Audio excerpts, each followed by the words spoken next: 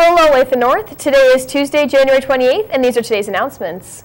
Join us for the winter semi-formal this Saturday, February 1st from 8 to 11. The cost is $10. Out-of-school guest form in the office and due back no later than 3 p.m. January 29th. Students, our first campus tour of this year is to Wichita State University on February 11th. Sign up today in the front office and see Miss Taylor if you have any questions. Bet your poem, short story, creative essays published. Mindburst is taking the submission through the through this Friday. See your English teacher for or Miss Grundy for, for details.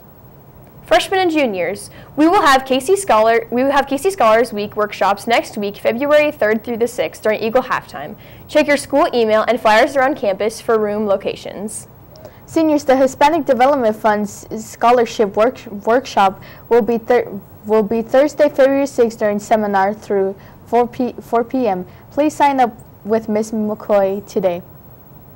Eagle Service Club members, there will be a club meeting during Eagle Halftime B in room 517 today. Hope to see you there. Attention students, do you do you perform unpaid acts of volunteer service hours that benefit others? If so, you may be you may be eligible to be recognized for the Presidential Volunteer Service Award. For more information, please see Ms. Ms. Belsky in room 003 for all the details. Advent students will be in the 400 hallway during Eagle halftime Thursday, January 30th with SAFE pledge cards to sign.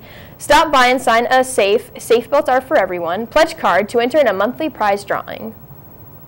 Attention 9th and 11th graders, the KC Scholarship is scholarship scholar application is now open. Please apply online at kcscholars.org by February 28th. See Ms. Taylor if you have any questions. The following colleges will be at Olathe North during Eagle halftime.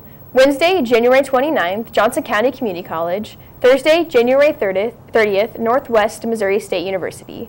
Please see Miss McCoy in the front office to sign up. I'm Claire. And I'm Vanessa. And this is Olathe North News.